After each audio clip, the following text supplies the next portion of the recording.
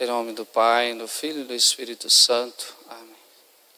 Grandíssimo Padre Silvano, nosso pároco, Padre Ednei, Padre Joaci, prezados acólitos desta cerimônia, reverendas irmãs, amados irmãos em nosso Senhor Jesus Cristo.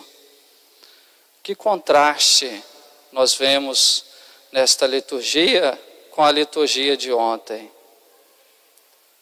Um contraste aparente, um contraste sim, mas não uma contradição, porque tanto a cruz como a ressurreição fa fazem parte do mesmo mistério, do mistério pascal, do nosso resgate, da nossa redenção. Mas ontem, amados irmãos, nós contemplávamos o altar numa tonalidade triste, vazio, os panos roxos, o altar sem as flores, um tom de penitência, de tristeza. Hoje, neste momento, nós contemplamos um altar bonito, ornado pelas flores, Jesus ressuscitado, a veste branca, os paramentos brancos, os cânticos, o aleluia, tudo isso para mostrar para nós que Jesus ressuscitou, que a nossa religião é uma religião de um Deus vivo e que ele veio para dar a vida a todos. Ele está vivo. É esta a proposta da liturgia de hoje. É este o anúncio do Exulted. Cristo ressuscitou e está entre nós. São João Paulo II dizia que a ressurreição de Jesus é a prova definitiva, é a expressão definitiva do poder messiânico. Ontem nós contemplamos, refletimos naqueles homens, nos discípulos, alguns soldados que depois da morte de Jesus olharam para Jesus e disseram: verdadeiramente este era o Filho de Deus. Mas ainda hoje, amados irmãos, com convicção no coração e com fé no coração, nós podemos dizer estas mesmas palavras com mais eficácia ainda, porque agora essas palavras estão diante de Cristo ressuscitado, vivo, real entre nós. Um contraste. Ontem nós contemplamos o Cristo desfigurado nas palavras do profeta Isaías, aquele que não atraía mais os olhares dos homens, não tinha aparência, não tinha beleza. Em palavras humanas, amados irmãos, as pessoas sentiram nojo de olhar para Jesus, porque ele estava todo chagado, desfigurado, a marca do nosso pecado. Mas hoje no Exulte, nós cantamos, ó ditosa culpa, se a culpa, se o nosso pecado, dentro do des, dos desígnios de Deus, trouxe estas chagas, o Cristo desfigurado, mas também proporcionou para nós a ressurreição, a vitória. Um contraste, mas não uma contradição. Mistério da cruz e hoje o mistério da vitória, o mistério da vida, o mistério da alegria. Se nós contemplamos, contemplamos Cristo desfigurado, hoje Cristo sai do sepulcro, cheio de luz, já não tem mais aquela veste de sangue, mas a sua veste é branca.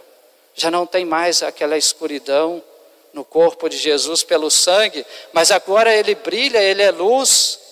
O seu rosto já não é mais aquele rosto triste, como nós contemplamos na via sacra, nos nossos cânticos, aquele rosto que ficou estampado no pano da Verônica, mas hoje é um rosto cheio de vida, um rosto cheio de alegria, é Cristo sorrindo.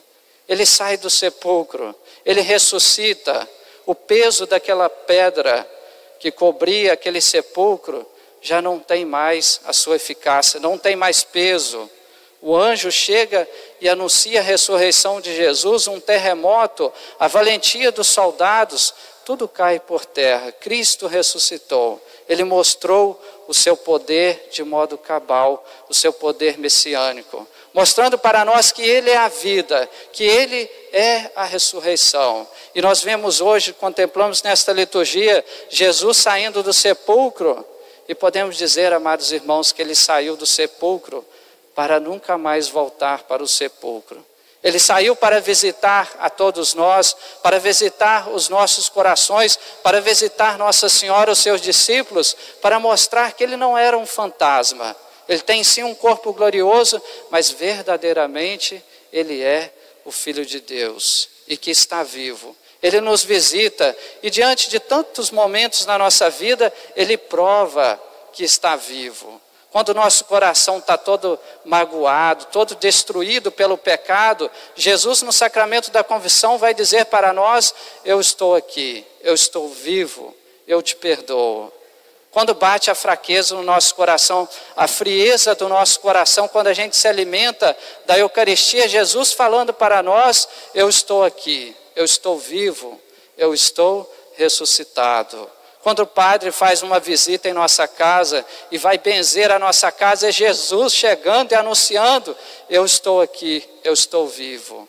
Quando o padre vai no hospital e vai diante do enfermo, talvez um idoso no UTI, é Jesus chegando e anunciando: Eu estou aqui para te ungir, para dar o último sacramento, para salvar a tua alma. E mesmo no meio da cruz, dos nossos sofrimentos, quando a gente está só no nosso canto, mas que vem Jesus ao nosso encontro, no nosso coração e fala para nós: Eu estou aqui.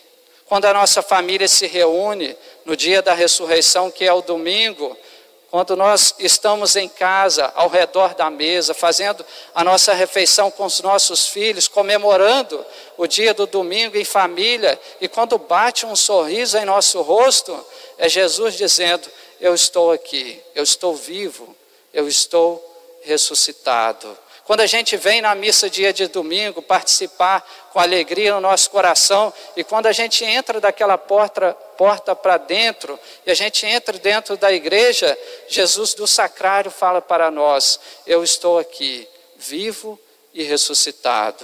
Portanto, amados irmãos, quantas provas que Jesus dá para cada um de nós, no nosso coração, na nossa consciência, de que Ele ressuscitou, de que Ele é a vida, de que Ele é a ressurreição, e por isso, da nossa parte, devemos ter uma grande fé.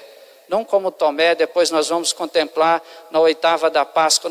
Tomé duvidou e Jesus fala para ele: Tomé, por que você está duvidando? Sou eu mesmo, estou vivo, estou aqui, estou ressuscitado. Não sejas incrédulo mais fiel. Estas são as palavras de Jesus para nós. Portanto, amados irmãos, Ele ressuscitou para visitar a nossa casa, para visitar o nosso coração e mostrar que todo cristão, que todo católico tem que ter vida no seu coração, tem que ter amor de Deus. Vale a pena viver pela Sua ressurreição, viver em estado de graça. Esses dias estava conversando com um dos idosos do nosso abrigo e ele falou para mim, Padre, como é bom viver sem o pecado.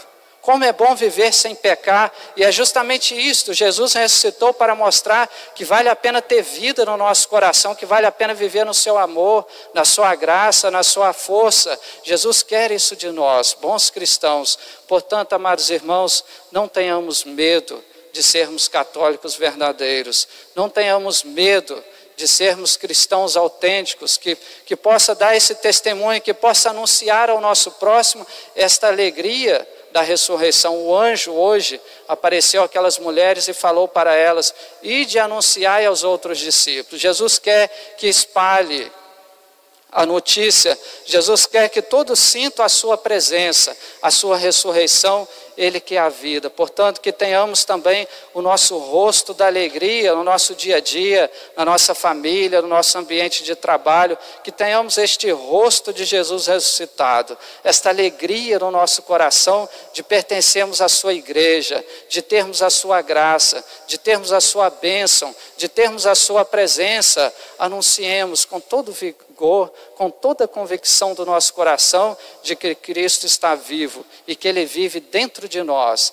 nas nossas palavras, nas nossas ações, que Nossa Senhora possa nos mostrar esse caminho, que ela possa nos conduzir sempre mais para o Seu Filho vivo, ressuscitado, cheio de luz, cheio de felicidade, para que vivendo nele nós possamos também ressuscitar um dia. Ele que deu esta promessa para nós, aquele que vive e crê em mim, jamais morrerá eu ressuscitarei no último dia. Amém.